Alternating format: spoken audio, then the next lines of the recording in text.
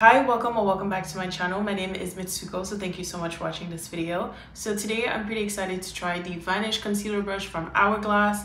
And essentially, I've been thinking about trying this one for a while because I've been using a sponge to blend out my concealer and to also set it for a long time. Now, I did try other brushes in the past, but the result is just not that great. And I figured maybe with this one, I'll have a better result. So we'll see. Now, the price tag on this one is pretty steep. It's around $50 Canadian and then 39 USD. Glad I was able to get it during the Sephora sale. So this is the packaging for it. It's pretty standard for Hourglass. This is actually the Vanish Seamless Finish Concealer Brush that's actually the full name. So this is what the brush looks like. You have the logo at the bottom here and um, I feel like it's a pretty standard brush size. This is an angle brush and it's really soft actually. Now I'm hoping this is going to be soft also on my skin. This brush has synthetic bristles and it works well with cream and liquid. Now I do plan on testing it out for my concealer essentially my T-zone wherever I highlight but I also want to see if it works well in this area of my face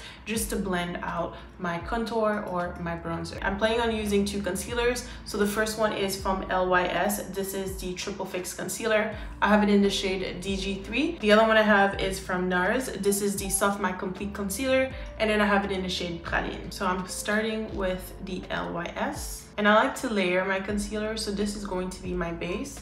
On the Sephora website, it's suggested to just pat or blend the concealer for your desired look. So I'm going to start patting just to see.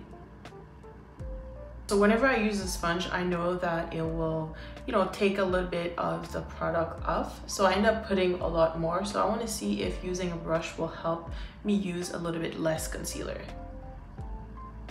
And I feel like so far it's working. It's pretty soft on my skin, which I like. And it's blending it pretty well actually.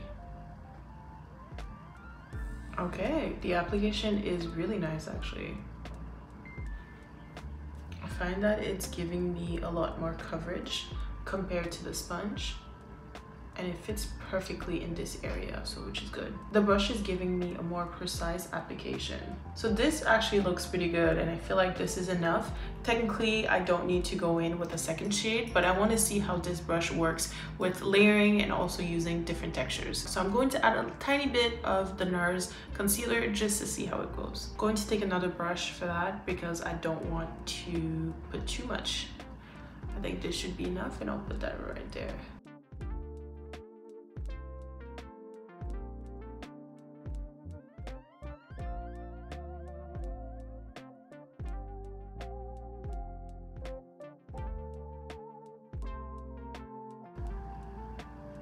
Okay, and I'm going to focus the shade just close to my inner corner, basically in this area. Definitely gonna go back in with the blush, just because I find that it's a little bit harsh right now, but blended really well. Okay, let's see how it goes. Whenever I'm blending out my nose bridge with a sponge, I found that it goes all over my nose, but with this, I'm having a better application. This is great. I don't even need to go in with a lot of the bronzer because I find that it's already giving my nose a nice shape. I think for my forehead, it's probably just easier to use a sponge just to soften the outer part. So far, so good.